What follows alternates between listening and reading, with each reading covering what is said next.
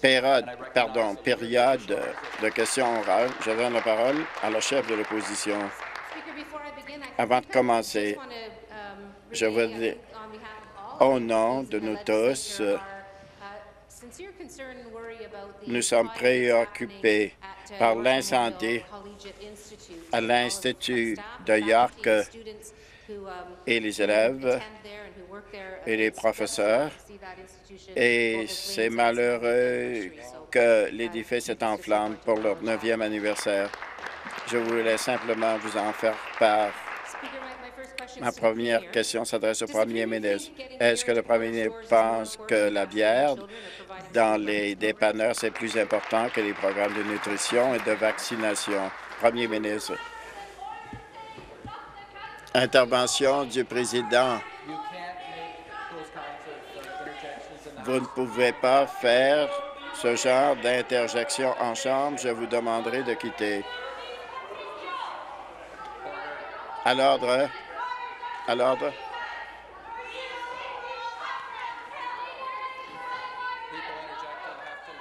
Les gens doivent quitter.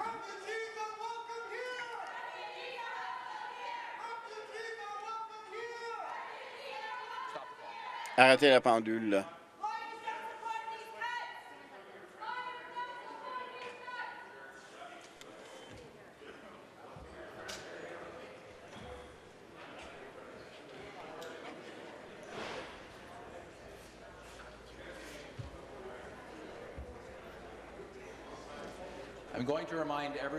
Je rappelle à tous et chacun en tant qu'invité, nous sommes contents de vous avoir, d'observer les procédures du Parlement. Vous ne pouvez pas crier aux députés et cela perturbe les travaux du Parlement. Voilà pourquoi je vous demande de quitter. Vous avez été averti avant d'entrer que vous ne deviez pas faire ce genre d'intervention. Respectez le Parlement et ses procédures. Redémarrer la pendule. Premier ministre, vous avez la parole. Par vous, Monsieur le Président, on a investi 430 millions de dollars dans la santé publique de Toronto, 2 milliards à l'échelle de la province en santé publique. Pourquoi on le fait?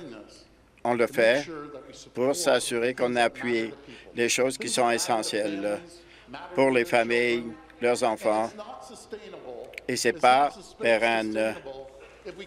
Si on continue de dépenser, nous avons un déficit provincial de 347 dettes de la province et un déficit de 15 milliards de dollars. Et les élèves, les étudiants sont inquiets. Ils veulent des emplois. Nous avons créé 140 000 nouveaux emplois, on diminue les taxes et les parents à la maison paieront un chauffage beaucoup moins cher. C'est non pérenne. On ne peut pas continuer à dépenser. L'opposition veut simplement dépenser les taxes. Intervention du président complémentaire. Il semble que le premier ministre veut dépenser l'argent sur les autocollants à la pompe. Ce n'est pas une priorité pour les Ontariens. Le maire de Toronto a mis au défi les priorités du premier ministre et ses coupes téméraires. Les maires de l'Ontario disent euh, ont du refilement de la part du provincial et que les coupes ont entraîné un trou dans le budget. Les médecins, les premiers intervenants diront que les services de santé mettront les patients en risque et aggravera la médecine de couloir. Il est responsable des enjeux de la population ne comprend pas les enjeux du premier ministre. Premier ministre, par vous. La seule chose qui a été responsable, c'est votre rhétorique. Ils veulent continuer à dépenser les deniers publics. Est-ce qu'ils veulent aider les petites entreprises? Vous ne pouvez pas dépenser plus que vos revenus. C'est une notion toute simple. Les néo-démocrates ne comprennent pas. La seule façon de protéger la santé, l'éducation, en investissant 780 millions de plus en éducation, les enseignants garderont leur emploi. Nous avons ajouté un filet social de la hauteur d'un milliard huit Il faut s'occuper du bilan financier. Et les néo-démocrates ne comprennent pas cette situation et veulent mettre la province en faillite. Nous avons hérité d'une province en faillite alors que les néo-démocrates ont appuyé les mesures libérales. Ils ne connaissent pas très bien la fiscalité et ses éléments de base. Arrêtez la pendule.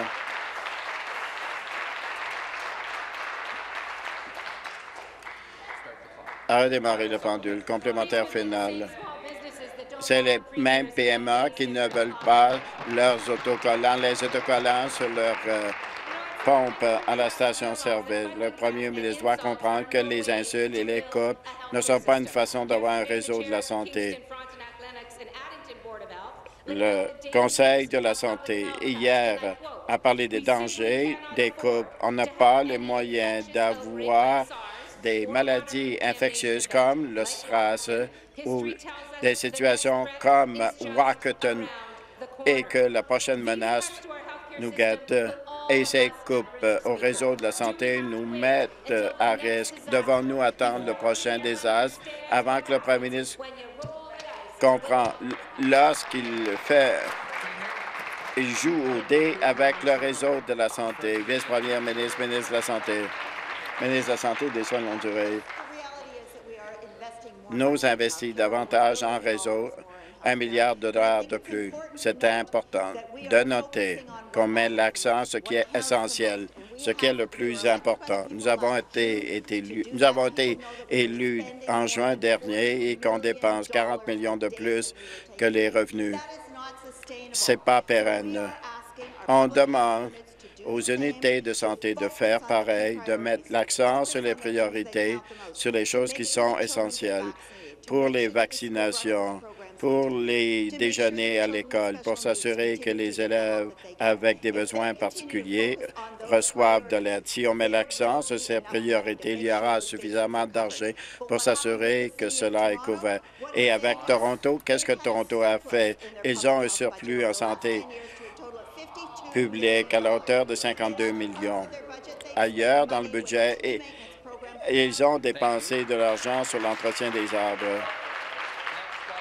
Prochaine question. Chef de l'opposition, ma première question s'adresse au premier ministre. C'est dégoûtant que le gouvernement avait dit qu'il n'allait faire aucune coupe à l'éducation, au réseau de la santé. Voilà.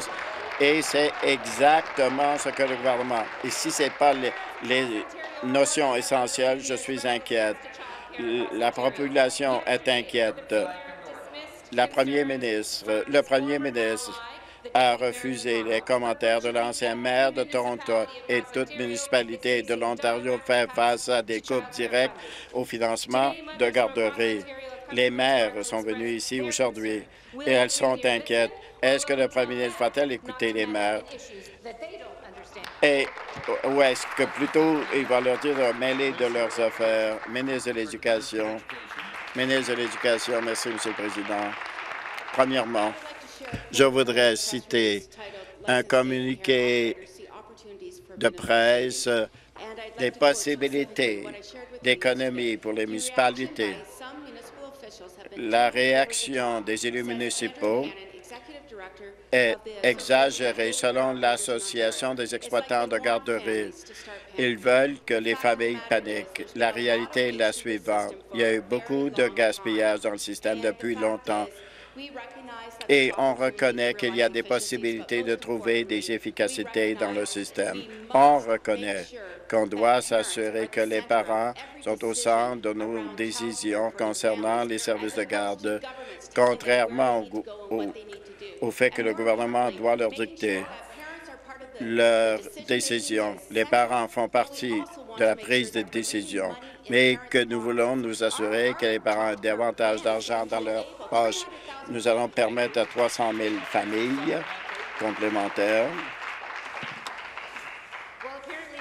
Apparemment, les parents, dans la circonscription de cette ministre, a écrit une lettre en lui demandant de financer des services de garderie sans, euh, euh, sans être approuvés. Le premier ministre crée une crise ici et qui ne va pas disparaître parce qu'il nie que cela ou s'il insulte les gens qui soulèvent des préoccupations. Un des parents vient de, euh, aujourd'hui ici, vient de la circonscription de Orange et dit que la garde d'enfants euh, sera plus difficile, ça sera plus cher et va mettre les jeunes familles et les enfants à risque. Est-ce que le premier ministre nie que ces coupes vont euh, mettre à risque les enfants? La ministre de l'Éducation. Comme tout député du gouvernement, on encourage les concitoyens à nous parler, à travailler directement, parce que le fait est qu'on a hâte de rencontrer nos concitoyens, nos commettants, nous écoutons euh, les gens sur le terrain. Et les gens sur le terrain nous ont dit qu'ils sont fatigués, que le gouvernement prenne l'argent de leur poche euh, à gauche et à droite. En fait, eh, on s'assure que les familles se sentent appuyées comme pas avant euh, ou, pas beaucoup plus que euh, depuis 15 ans. On investit plus de 2 milliards de dollars. Chaque euh, famille qui a un enfant entre 0 et 7 va avoir 6 000 dollars de soutien par année par enfant de, par enfant de la famille. Au-delà de ça, entre 7 et 16 ans, ils ont un soutien de 7 de 1750 dollars et les familles qui ont des enfants à besoins spéciaux reçoivent 8250. Question complémentaire finale, mais le fait est que ce gouvernement a maintenu ces compressions cachées des familles parce qu'ils savent que ces compressions sont vraiment honteuses et sans cas et qu'elles ciblent les familles qui ont le plus besoin dans la famille? Le premier ministre n'a pas reçu un mandat de sabrer dans les euh, services sans but lucratif de garde d'enfants en Ontario. C'était pas ce qu'il a donné dans la campagne.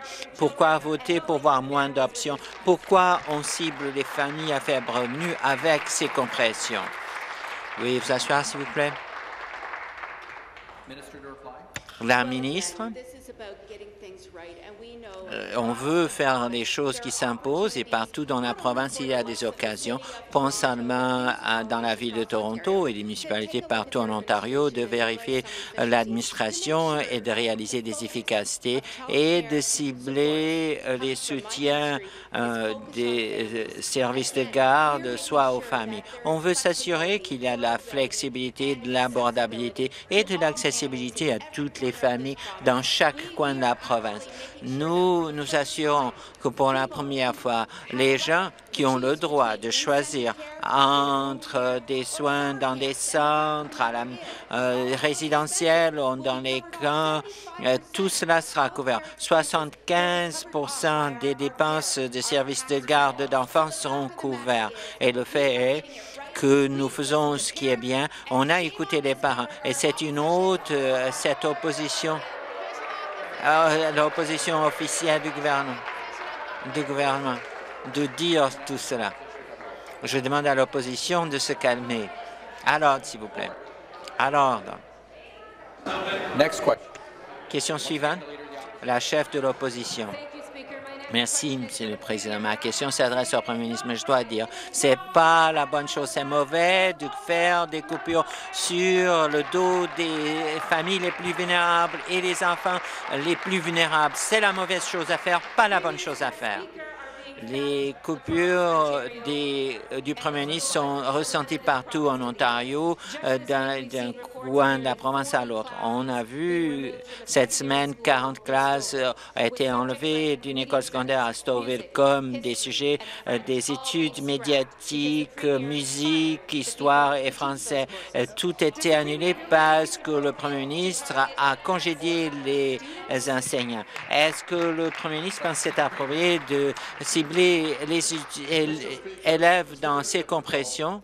Réponse du Premier ministre, c'est difficile et d'entendre des déclarations exactes, c'est toujours inexact. Ce qu'on a promis, c'est que euh, faire sortir la banqueroute de cette province et de protéger les vraies personnes de cette province, la population qui euh, travaille dans les usines, dans les bureaux, qui avaient des euh, problèmes à travailler dans les hôpitaux et à payer leur hypothèque. On a réduit leurs taxes. On a créé 123 000 emplois parce que ça va il n'avait aucune confiance dans le gouvernement néolibéral, euh, euh, pas de confiance dans les néo-démocrates. Nous sommes fiscalement responsables, on aide l'économie, on s'assure qu'il y a de bons emplois qui soient créés et les gens viennent afin que les élèves qui sont là, que leurs parents puissent avoir un bon emploi, euh, qu'ils puissent avoir des impôts plus faibles et des factures plus euh, pas moins élevé à suite aux politiques des conservateurs, pas les démocrates. Arrêtez la pendule.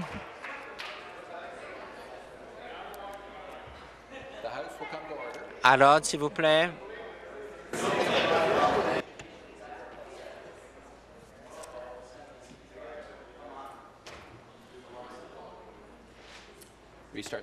Redémarrer la pendule. Question complémentaire. Monsieur le Président, les familles qui ont des difficultés ont encore plus de difficultés sur le gouvernement. Et ils ont des difficultés parce qu'ils n'ont pas euh, eu leur salaire minimum de 15 dollars qu'ils auraient dû avoir pour payer en fait la facture. Mais la question portait sur les élèves. Et je vais revenir là-dessus.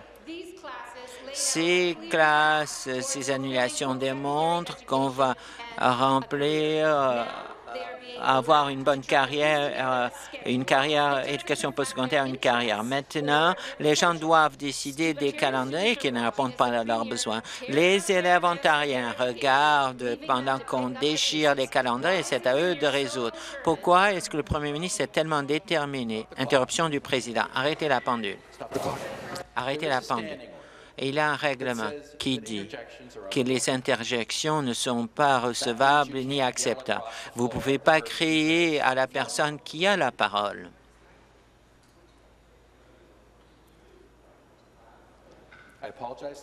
Mes excuses à la chef de l'opposition. Redémarrer la pendule, elle a la parole. La question est pourquoi est-ce que le premier ministre est déterminé? À laisser les élèves ontariens avec moins d'options dans nos écoles et moins de perspectives après euh, qu'ils reçoivent leur diplôme.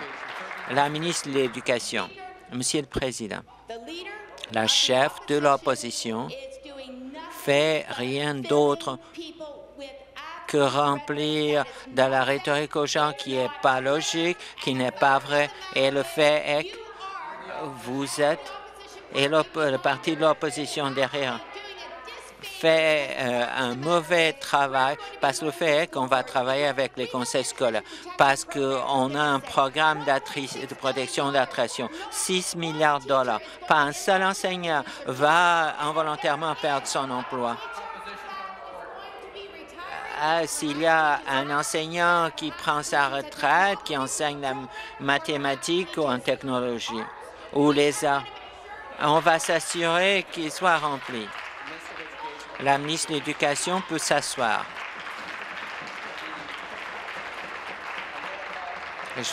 Il faut interrompre. Je vais euh, rappeler alors de la députée de Davenport et de, la députée de Waterloo. Question suivante. La ministre de l'Éducation, alors, s'il vous plaît. La ministre de l'Éducation, alors, s'il vous plaît. Question suivante, la députée de Mississauga Centre. Merci, Monsieur le Président. Ma question s'adresse au Premier ministre de l'Ontario. Monsieur le Président, les infirmières sont très importantes dans le réseau de santé de l'Ontario. En fait, sont la pièce centrale parce qu'elles livrent des soins de haute qualité centrés sur les patients que les patients et les familles ont besoin d'avoir et ils peuvent l'avoir. C'est pourquoi je suis fier pour célébrer la Semaine nationale de l'infirmière. Et je suis fier de faire partie d'un gouvernement qui donne beaucoup de valeur au travail des infirmières infirmiers et infirmiers. Est-ce que le premier ministre peut expliquer aux députés de cette Assemblée législative pourquoi c'est important de célébrer la Semaine nationale des soins infirmiers dans l'Assemblée? Le premier ministre, j'aimerais remercier la députée excellente Mississauga Centre à sa question. Je dois vous interrompre à, arrêter la pendule. Il faut que j'interrompe. Veuillez vous rasseoir, s'il vous plaît. La pendule est arrêtée. La députée de Waterloo et la ministre de l'Éducation doivent se remettre à l'ordre, s'il vous plaît. Redémarrer la pendule. Le Premier ministre. Merci, Monsieur le Président. Vous savez, Monsieur le Président, il faut reconnaître la Semaine nationale des soins infirmiers parce qu'il y a des gens, personnes euh, incroyables euh, j'ai dit pendant la campagne, et l'opposition va me, euh, me moquer parce que j'aime les infirmières, euh, parce que je les aime, oui. Quand on a un proche à l'hôpital, il a les médecins qui sont là, mais en fait, l'élément important dans chaque hôpital, c'est les infirmières et infirmiers. Ils sont là toute la journée, prendre soin des patients, s'assurent que les patients se portent mieux. Et Monsieur le Président, il n'y a personne qui apprécie les infirmières plus que notre équipe, notre caucus, notre gouvernement conservateur. Et on va s'assurer d'aider les infirmières et infirmiers parce que sont vraiment l'élément euh, principal de chaque hôpital de cette province. Merci. Question complémentaire? Je remercie le ministre sa réponse. Il n'y a pas de doute que nos infirmières et infirmiers sont les meilleurs ici en Ontario. Et ça veut beaucoup dire euh, euh, dans le secteur santé que notre premier ministre la ministre de la Santé ont à cœur ce qui est important pour les infirmières et infirmiers. Et c'est pourquoi je suis fier de faire partie d'un gouvernement qui appuie les infirmiers et infirmiers en Ontario. Nous nous engageons à soutenir les infirmiers et infirmières de première ligne assurant qu'ils aient les outils les plus importants et les soins centrés sur le patient. Est-ce que le Premier ministre peut informer la Chambre ce qu'on fait pour appuyer les infirmières partout en Ontario? Le Premier ministre. En m'adressant à vous, Monsieur le Président, j'ai oublié de mentionner la députée de Mississauga est une infirmière et elle comprend mieux que tout autre. La ministre du Travail a été infirmière. On a beaucoup d'infirmières et infirmiers ici qui le savaient de première main, les besoins. Euh, quand au milieu de la nuit, quand on a deux infirmières qui sont en charge, c'est ce qui nous préoccupe. Il faut qu'on appuie nos infirmières qui, et on va continuer à appuyer les infirmières et infirmiers. Quand les patients ont besoin d'aide et qu'on prenne soin des patients, qui prend soin des patients, c'est une infirmière ou un infirmier. Et il faut prendre soin des infirmières et infirmiers.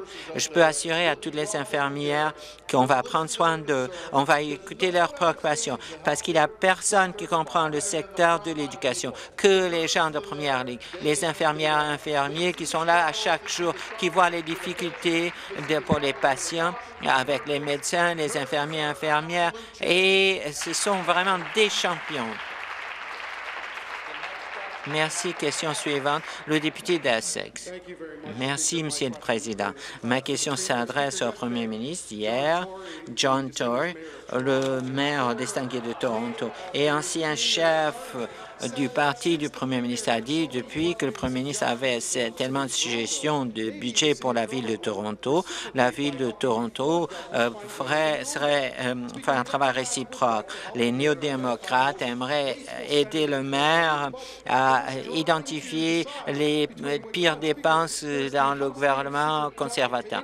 Et il y a le voyage secret du leader parlementaire du gouvernement, le voyage du ministre des Finances à à New York et aussi euh, tout le gâchis dans le magasin de bière et bien sûr, qui peut oublier euh, la camionnette des plaisirs du premier ministre qui a été cachée. Le premier ministre, je serais prêt à aider la ville de Toronto à, trouver des économies. J'étais là quatre, pendant quatre ans, on a trouvé des épargnes d'un milliard de dollars. Où sont les économies là? Ce qu'on voit dans la ville de Toronto, c'est euh, le budget augmente de milliards de dollars, les services sont à la baisse, mais les dépenses sont à la hausse. Et qui va et achète 10 millions de dollars de, flotte euh, quand on n'a rien? Qui paie aux gens de, de, de d'arroser des arbres. Euh, la vérificatrice générale de la ville a donné beaucoup de suggestions, mais la ville de Toronto a trouvé, ils n'ont pas trouvé une seule efficacité à, Toronto, une, pas une seule efficacité. Tout ce qu'ils font, c'est de gaspiller de l'argent. Ils font partie de la gang des néo-démocrates et des libéraux qui aiment dépenser beaucoup d'argent. Merci. Question complémentaire. Nous savons qu'on a juste touché à la surface quant aux dépenses en défense du gouvernement. Mais on comprend que le premier ministre a demandé au ministre, au maire Tory de ne pas se mêler de la politique provinciale, mais le premier ministre a critiqué le maire du fait euh, qu'il ne comprend pas. Mais c'est un autre palier du gouvernement qui par des agents et qu'ils ne comprennent pas. Est-ce que le Premier ministre peut expliquer pourquoi il le fait tellement souvent, le Premier ministre? les députés de l'opposition, veuillez vous rasseoir, s'il vous plaît. le Premier ministre, en m'adressant à vous, Monsieur le Président, la Ville de Toronto a un budget de plus de 13 milliards de dollars. On a pris 20 millions de dollars d'arriérés. On livre un système de transport en commun de 28 milliards de dollars et demi. On donne euh, de l'aide à Toronto de 433 millions de dollars. On donne beaucoup d'appui. Quand j'étais à la ville de Toronto, une autre chose qui me vient, on n'a pas demandé au gouvernement euh, parce qu'ils dépensaient et nous, on économisait. Ils augmentaient les impôts, on réduisait les impôts on a euh, une augmentation zéro des taxes. Ils ne le comprennent pas. Imaginez s'ils prenaient euh, euh, soin de tous les concitoyens et dirigeaient leur gouvernement. Et ils seraient en faillite tout de suite. Le député d'Essex à l'ordre le, le, député de Toronto-Est Centre. Alors, s'il vous plaît. Question suivante. Le député de Scarborough-Rouge-Park. Merci, Monsieur le Président.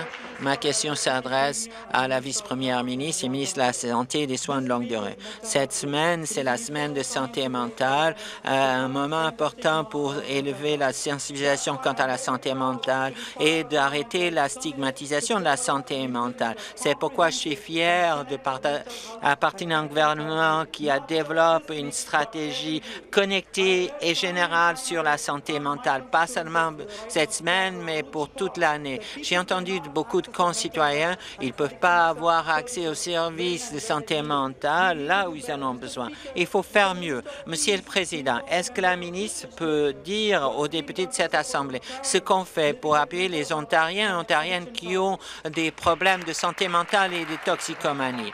La ministre de la Santé et des Soins de longue durée. Merci aux députés de Scarborough Park de cette question. Je sais que c'est une question très importante pour vous aussi.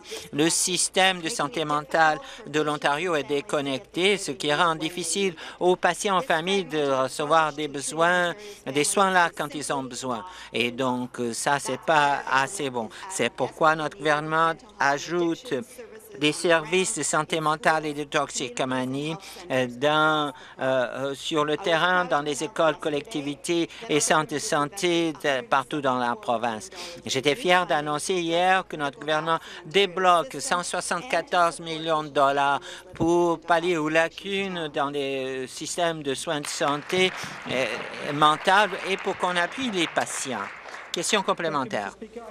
Merci. Je remercie la ministre pour sa réponse. Il n'y a pas de doute que notre système de santé mentale et de toxicomanie a besoin de mesures immédiates pour qu'on puisse avoir un soutien complet aux familles quand ils ont et aux patients quand ils ont des problèmes tous les gens vont bénéficier de ces services communautaires et je suis fier d'appartenir à un gouvernement qui prend très au sérieux la santé mentale et tous ces enjeux. Est-ce que la ministre peut informer les députés ce que cet investissement de 174 millions de dollars, pourquoi il sera utilisé tout cet investissement?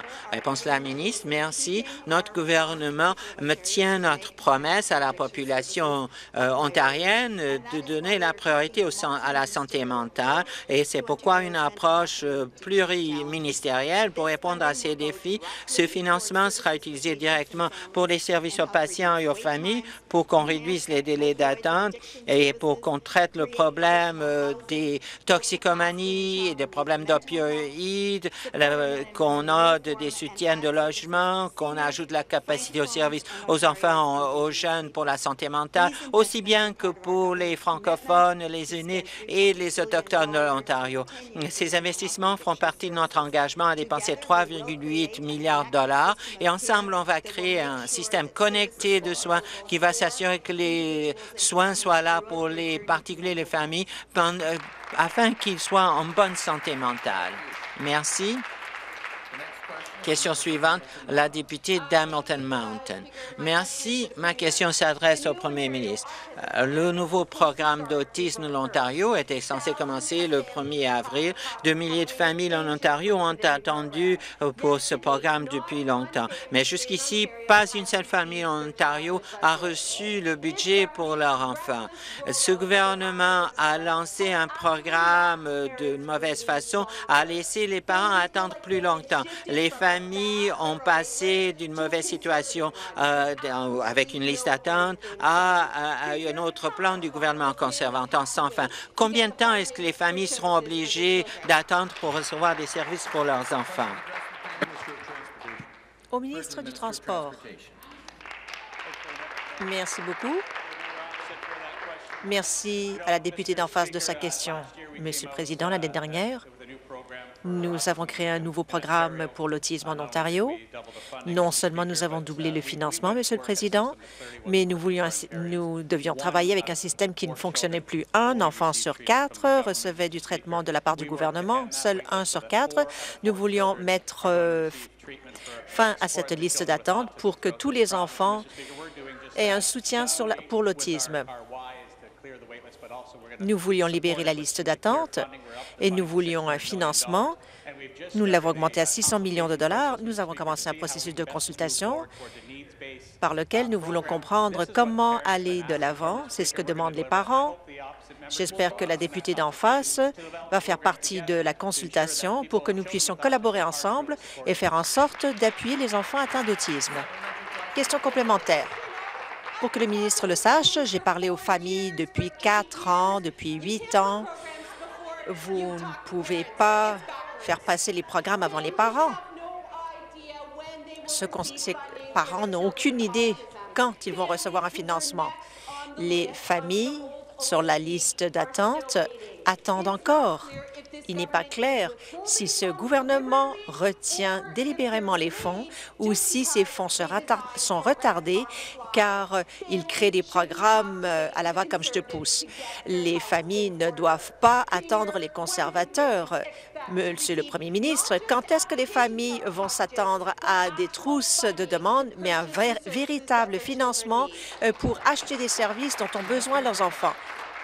Au ministre, merci, Monsieur le Président, de cette question. Vous savez, avant, avant nos changements, trois enfants sur quatre ne recevaient pas de financement et ces enfants étaient sur une liste d'attente. Il semble que la députée d'en face et l'opposition veulent revenir à un système où trois enfants sur quatre ne recevaient pas de financement et n'avaient pas d'espoir euh, d'être libérés de la liste d'attente.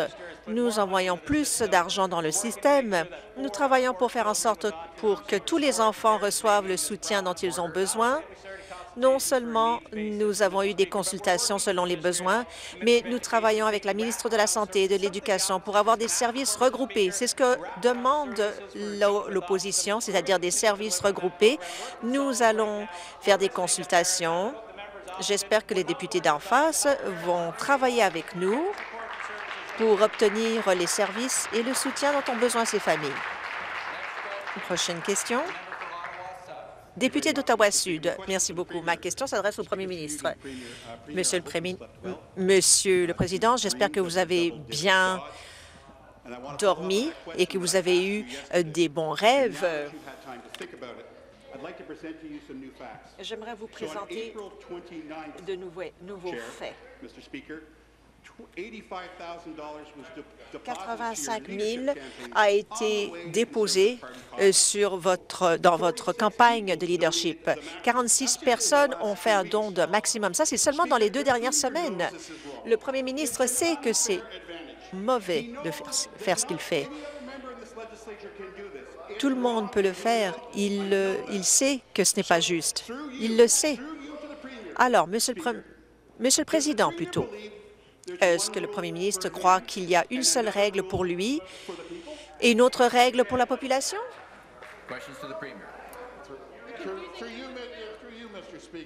Monsieur le Président, je crois que le chef, le chef du Parti indépendant libéral, il oublie les soupers à 20 000 avec euh, le Premier ministre, avec le ministre. Ils ont dû changer les règles avec le gouvernement précédent. Il a dépensé 20 000 et vous pouviez avoir une rencontre individuelle avec le ministre et avec la première ministre. Nous avons des soupers spaghettis à 25 Monsieur le Président, nous faisons une collecte de fonds de 100 000 car les gens croient en nous et les gens croient en nos mandats. Question. Complémentaire. Merci beaucoup, Monsieur le Président. Le Premier ministre devrait vérifier son propre site Web, et car euh, le président euh, de la Commission des, liqueurs fait une collecte de fonds, et ce n'est pas juste 25 Le 29 avril, 34 personnes ont surpassé leur contribution. Vous leur avez dit, écoutez, donnez de l'argent pour mon leadership et pour le- les conservateurs. Intervention du président, faites vos commentaires en passant par moi. Et la question doit être pertinente. Merci, Monsieur le Président. Le Premier ministre sait euh, que c'est euh, quelque chose d'illégal. Vous avez 4 millions de dollars d'une campagne de leadership. Le ministre des Finances millionnaire et le Premier ministre millionnaire euh, croient que c'est dans les règles. Mais pour monsieur et madame tout le monde, c'est beaucoup d'argent. Alors j'aimerais demander au premier ministre, encore une fois, croit-il qu'il existe une règle simplement juste pour lui? Merci. Le premier ministre doit répondre. Monsieur le Président, nous avons dû changer les règles à cause de tout ce qui était insensé dans le Parti libéral. Il y avait plein de scandales, de déceptions. Intervention du président. Le premier ministre doit retirer. Retirer. Monsieur le Président, ils avaient des soupers à 20 000 Nous avons des collectes de fonds avec des dons de 5, 10, 25 Eux ont changé les délimita- délimitations de la ceinture verte. Ils l'ont fait 19 fois. Ils l'ont fait 19 fois. Nous, si on mentionne la ceinture verte, les gens euh, s'esclaffent.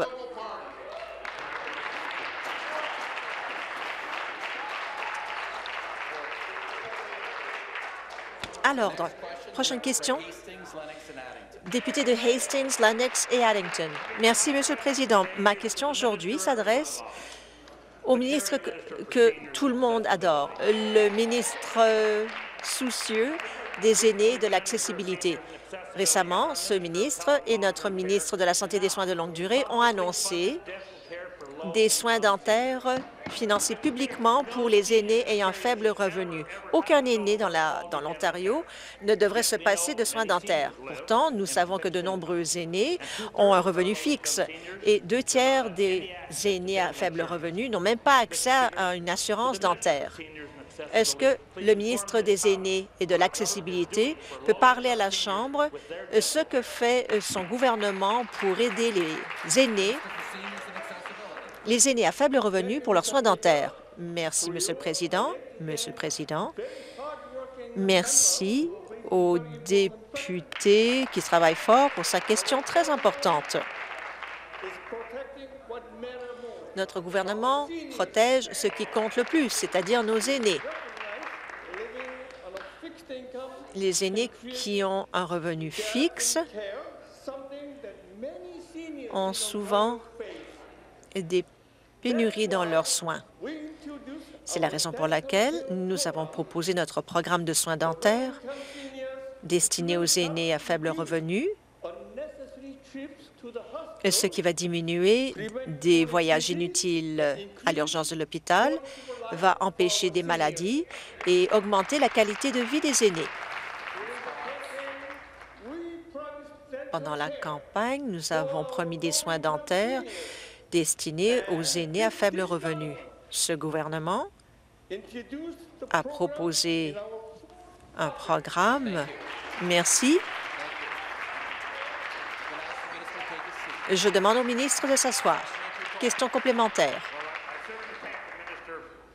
Merci au ministre de sa réponse. Je sais que les, les aînés dans toutes les circonscriptions ont besoin d'un programme tel que celui-ci. C'est un programme qui prend au sérieux les besoins de nos aînés. Non seulement c'est avantageux pour nos aînés, mais pour le système de soins de santé publique dans la province de l'Ontario. Est-ce que le ministre peut nous expliquer comment ce programme contribue à une stratégie plus vaste qui va moderniser notre système de santé et va mettre fin à la médecine de couloir? Au ministre. Merci, Monsieur le Président. Merci de cette question. J'aimerais renvoyer cette question à ma ministre préférée de la Santé et des soins de longue durée. À la ministre de la Santé et des soins de longue durée, et merci au député de Hastings, Lennox et Addington. Lorsqu'on les problèmes dentaires mènent à 64 000 visites aux urgences. C'est difficile pour les hôpitaux. Aucun aîné ne devrait se passer de soins dentaires de qualité. C'est la raison pour laquelle nous investissons près de 90 millions de dollars par année dans les soins dentaires chez les aînés à faible revenu les centres autochtones, les centres communautaires et les autobus mobiles vont aider ces aînés avec leurs besoins dentaires. Les aînés de l'Ontario pourraient être confiants car ce gouvernement va leur offrir des soins dentaires lorsqu'ils en auront besoin. Merci, Monsieur le Président. Ma question s'adresse à la vice-première ministre. Monsieur le Président, les cliniques d'aide juridique auront une compression de 16 millions de dollars. La clinique juridique sud-asiatique fait partie des 68 cliniques d'aide juridique dans la province. Cette clinique offre des conseils et une représentation juridique aux personnes les plus vulnérables dans notre province, telles qu'une femme qui s'appelle Myriam. C'est une nouvelle immigrante et qui vit à Mississauga.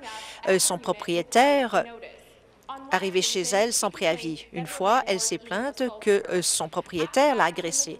Ensuite, il y a eu une menace d'expulsion. La, clinique d'avis juridique a travaillé avec Myriam pour qu'elle puisse euh, obtenir une rémunération pour ses blessures. Comment est-ce que la première ministre va aider ces milliers de personnes afin d'obtenir euh, des conseils juridiques? Those of you who are protesting have to leave.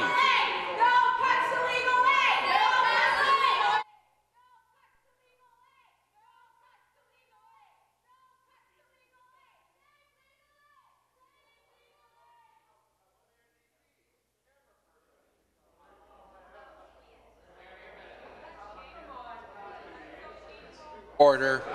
À l'ordre. Order. À l'ordre. Order. À l'ordre. The House will come to order. Je vous demande de revenir à l'ordre. The House will come to order. Je vous demande de revenir à l'ordre. The House will come to order. Je demande à la Chambre de revenir à l'ordre.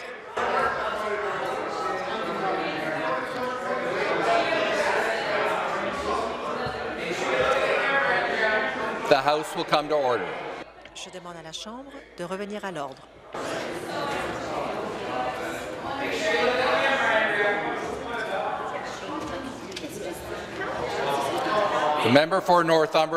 Député de Northumberland, Peterborough South, vous avez un avertissement.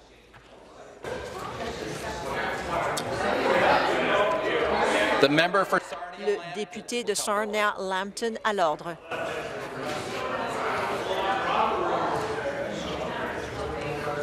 Member for Niagara Centre will come to order.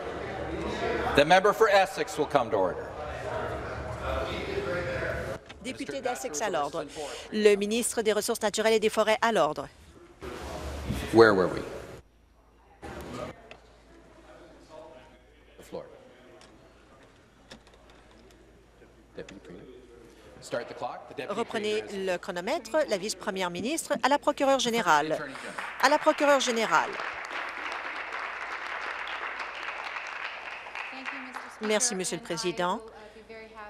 Je serais très heureuse de répondre à la question de la députée d'en face et j'aimerais parler des services vitaux qu'offrent les services juridiques, tels que pour Myriam. J'aimerais vous dire que le photographe euh, du parti d'opposition, et il semble que l'opposition a coordonné des efforts euh, pour perturber la Chambre.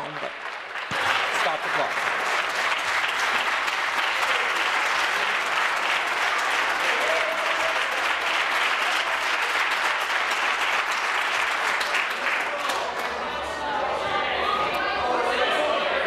The government Le gouvernement, je vous demande de revenir à l'ordre.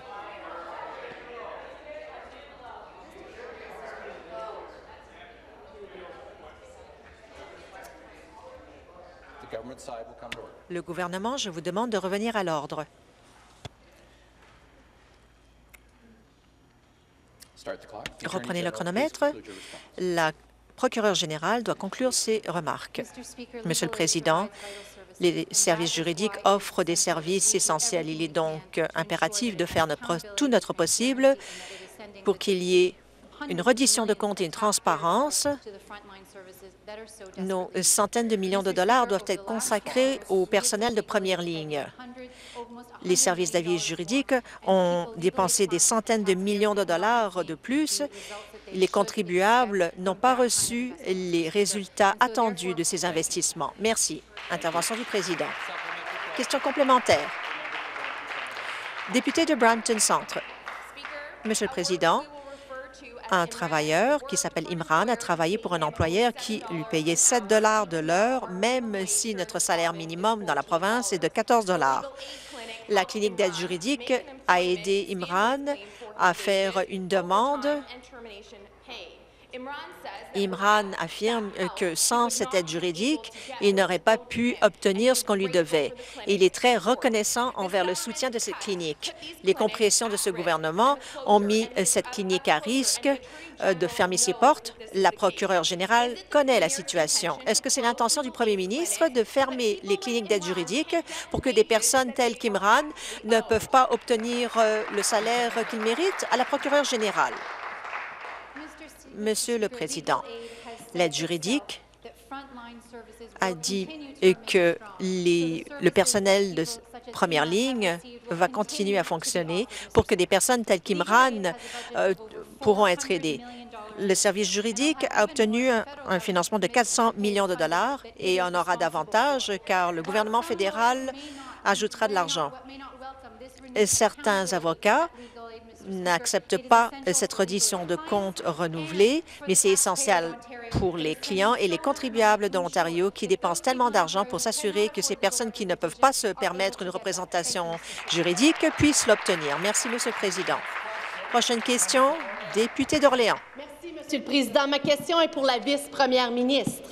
Speaker, for 20 years, Monsieur le Président, pendant 20 ans, la recherche sur les jeux a fait des recherches sur euh, la façon de diminuer ce problème en offrant des ressources aux agences de première ligne pour euh, empêcher la dépendance aux jeux. La, semaine dernière, le gouvernement a annoncé l'élimination de tout son budget. Monsieur le Président, ce gouvernement continue sa croisade euh, pour augmenter l'accès à l'alcool, y compris de l'alcool gratuitement dans les casinos. Pourquoi est-ce que ce gouvernement ne s'inquiète pas euh, des personnes les plus vulnérables qui sont touchées par la dépendance Deputy Premier. Question à la vice-première ministre. Merci beaucoup à la députée de cette question. Bien sûr que nous sommes préoccupés par ces personnes ayant des dépendances, mais nous voulons également consacrer des ressources sur les premières lignes, là où les gens en ont besoin. Donc, nous avons pris la décision euh, de rediriger les ressources aux premières lignes.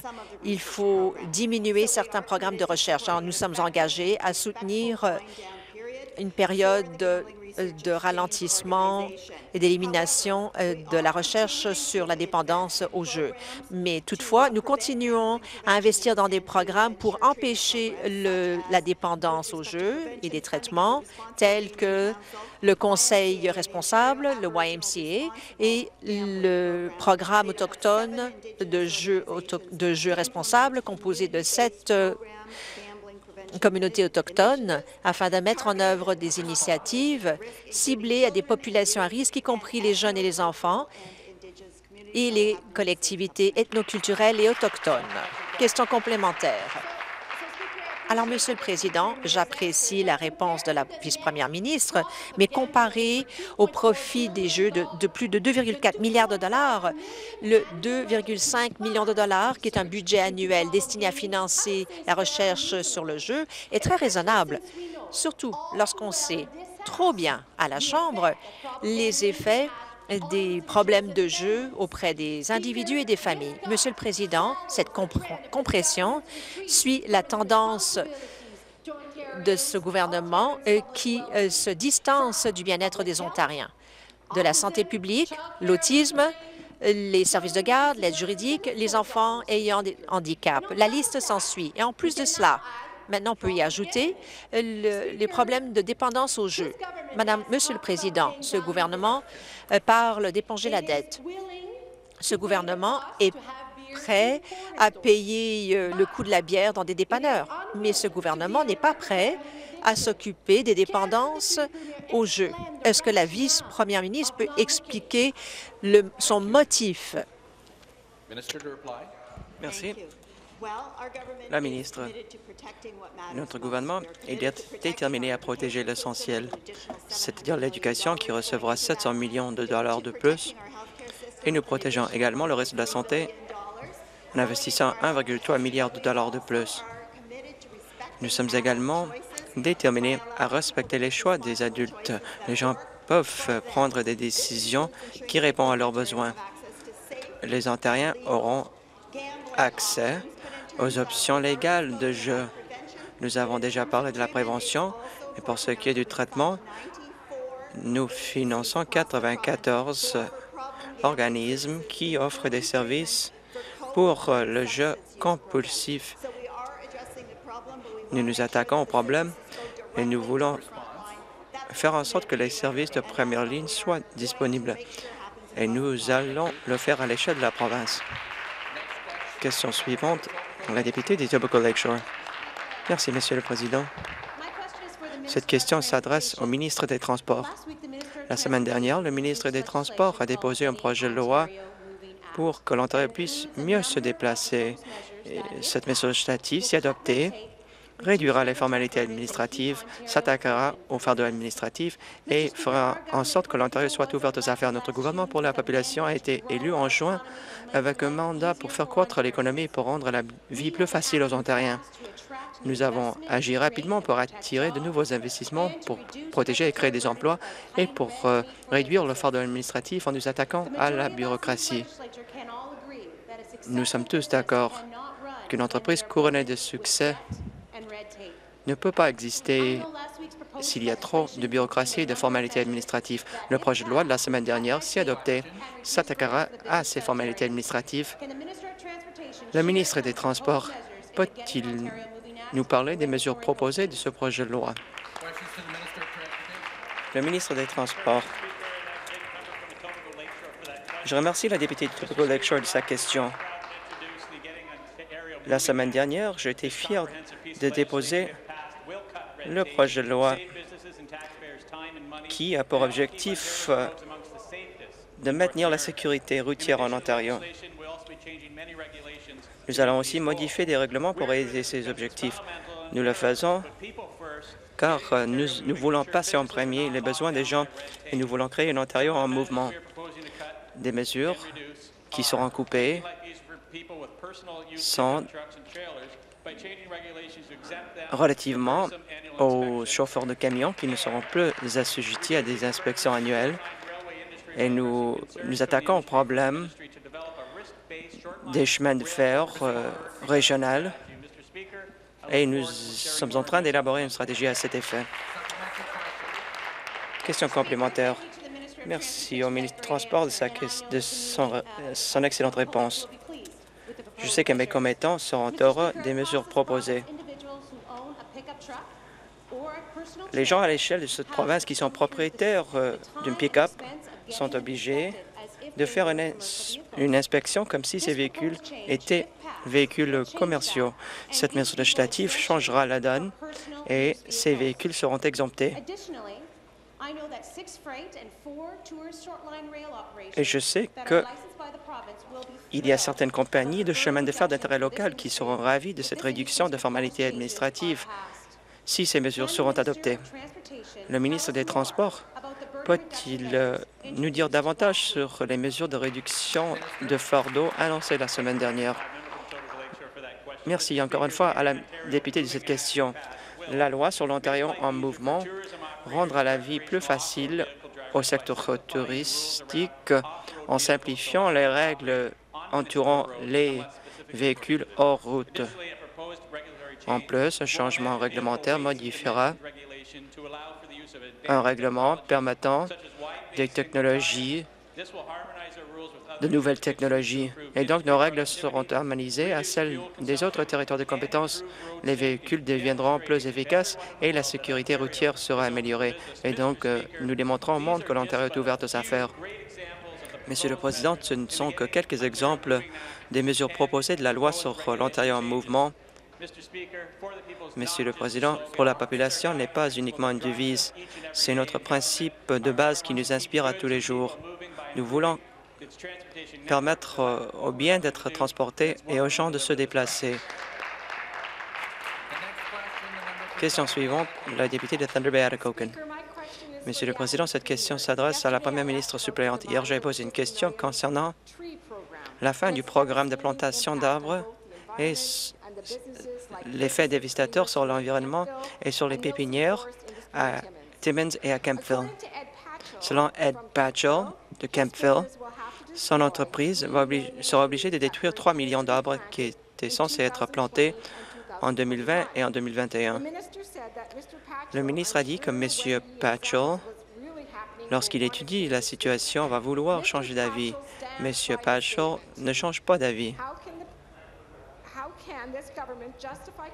Comment le gouvernement peut-il justifier des compressions qui obligent aux entreprises de jeter des arbres dans la poubelle. Au ministre des Richesses naturelles et des Forêts. Merci à la députée de cette question. Comme je l'ai dit hier, la plantation des arbres se réalisera cette année.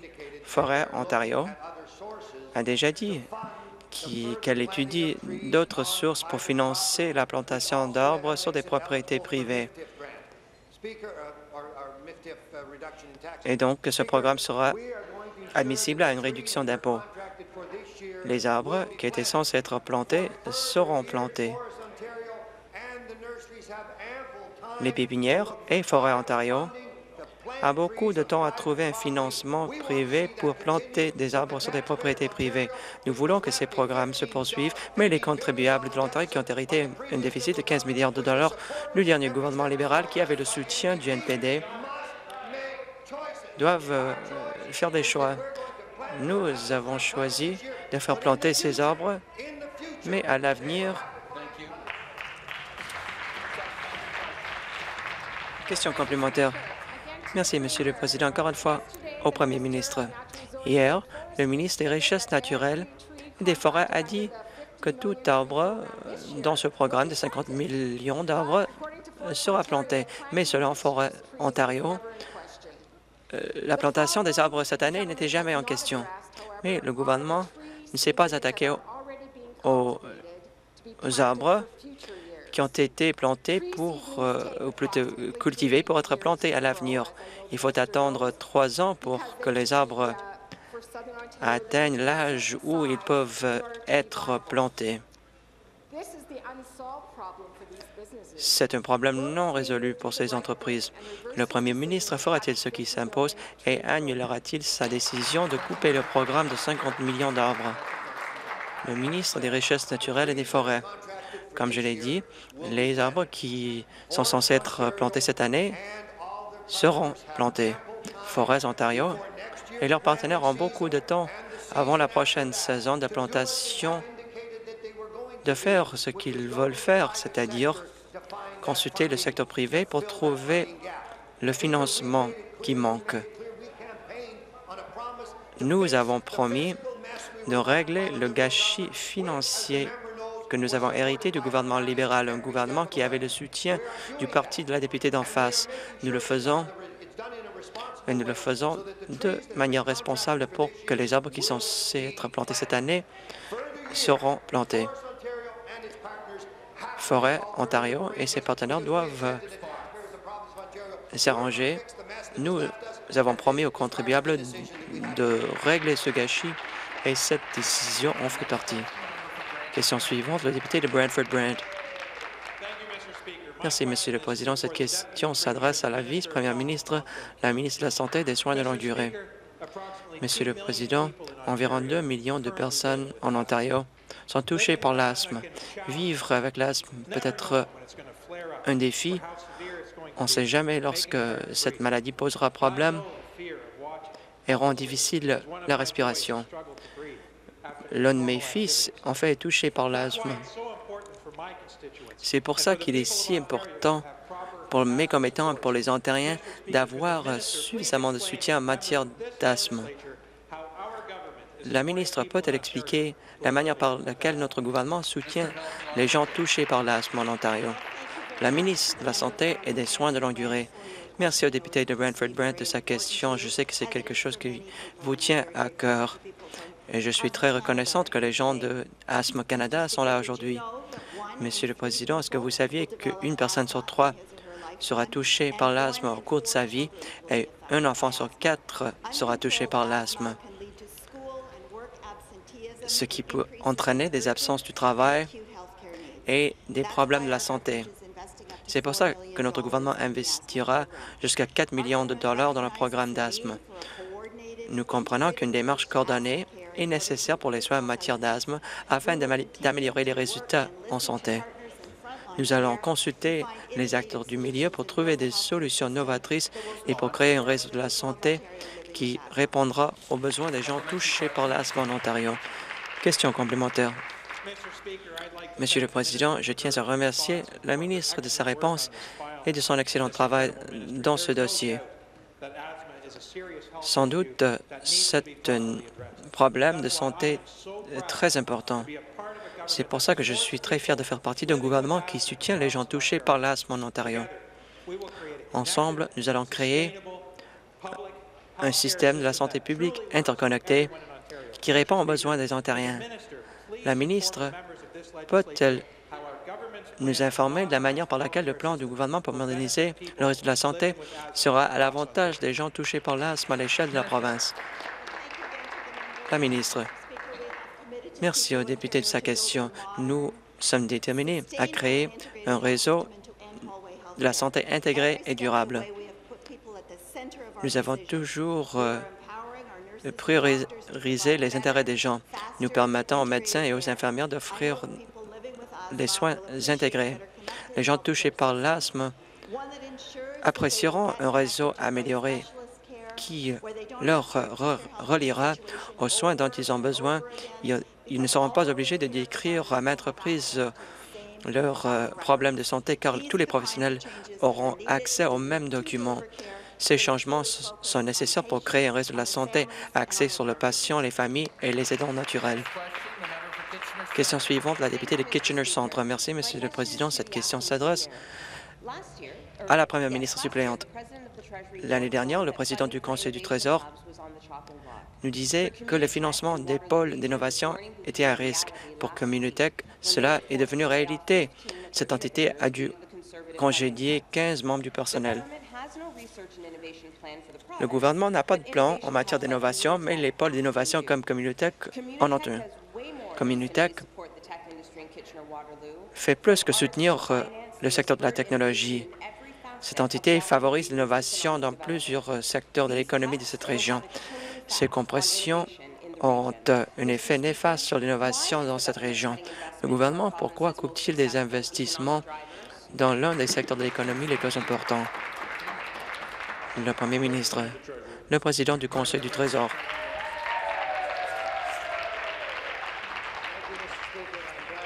Merci, Monsieur le Président. C'est excellent que mes collègues se souviennent de moi. Merci à la députée de cette question. J'étais à Cambridge il y a quelques semaines. En fait, j'ai même visité l'établissement de Communitech. Nous nous concentrons sur l'innovation. Nous avons créé 123 000 nouveaux emplois dans cette province et Communitech y a participé. Nous sommes l'un des bailleurs de fonds les plus importants de Communitech. Le secteur privé commence à être impliqué. En fait, il y a eu plusieurs compagnies lors de mon discours qui soutiennent Communitech et qui soutiennent l'excellent travail qu'ils font. Monsieur le Président, ce gouvernement se concentre sur la protection de bons emplois et nous sommes heureux de travailler avec Communitech. Question complémentaire, la députée de Waterloo. Merci, Monsieur le Président. Communitech à Kitchener-Waterloo a un excellent bilan. Pour chaque dollar public investi, il y a un rendement à l'économie de 22 dollars. Si c'était un titre, j'aurais investi il y a longtemps. Le gouvernement a coupé le financement d'un tiers et donc des congédiements étaient nécessaires. Ces 15 postes perdus à Waterloo en raison des gestes du gouvernement. Si le gouvernement veut que l'Ontario soit un endroit où on attire des investisseurs, il ferait beaucoup plus pour soutenir ce genre d'entité. Pourquoi le gouvernement coupe-t-il le financement pour ces entreprises en incubation qui renforcent l'économie, qui attirent des investissements et qui créent des emplois?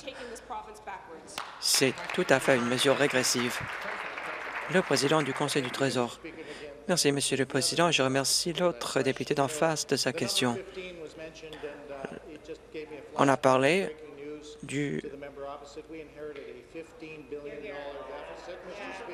des 15 postes perdus et ça me rappelle du déficit à la hauteur de 15 milliards de dollars. Il est important de passer à l'acte. Après 15 ans de mauvaise gestion du dernier gouvernement, nous avons hérité énormément de dettes. Le savez-vous, Monsieur le Président, que le dernier gouvernement a dépensé 40 millions de dollars de plus que leurs recettes? Et 30 millions de dollars en paiement d'intérêt par jour. C'est 70 millions de dollars dépensés à tous les jours qui ne finançaient aucun hôpital, aucune école, aucun programme social. Nous avons promis d'agir euh, à cet égard et nous allons le faire. Et nous n'allons pas nous reposer sur nos lauriers. Le temps pour la période des questions est écoulé. Conformément à l'article du règlement 38A, le député d'Ottawa-Sud s'est dit mécontent de la réponse qui lui a été donnée par le premier ministre concernant le financement des élections. Cette question sera débattue demain à 18 heures. J'informe la Chambre que le, document suivant a été déposé. Un rapport concernant l'honorable Doug Ford, premier ministre de l'Ontario, du bureau du commissaire à l'intégrité. Le député de Timmins a un rappel au règlement. Merci, Monsieur le Président.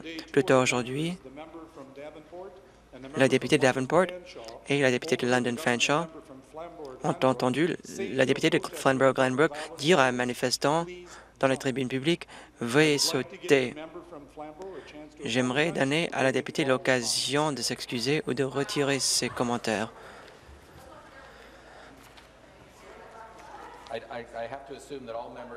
Je présume que tous les députés sont honorables. Je n'ai pas entendu le commentaire.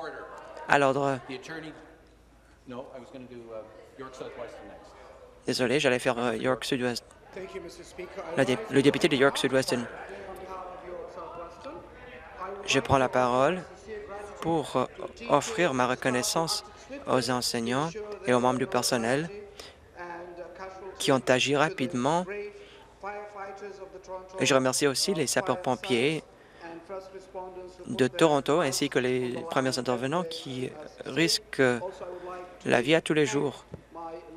Et je tiens à remercier la chef de l'opposition officielle au nom de ma circonscription. La procureure générale, un rappel au règlement. Monsieur le Président, il me semble que l'opposition officielle est en train de coordonner un effort pour perturber la période des questions en permettant l'entrée de leurs photographes euh, officiels. Un certain niveau de décorum est nécessaire dans cette enceinte et cet effort a fait preuve de manque de respect envers le président et envers cette Chambre. Merci.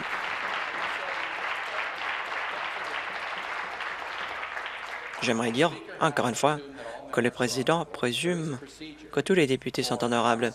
Il existe un processus pour euh, permettre euh, la présence d'un photographe. Les deux parties le comprennent. Je ne vais pas tirer d'autres conclusions. La séance est levée jusqu'à 15 heures.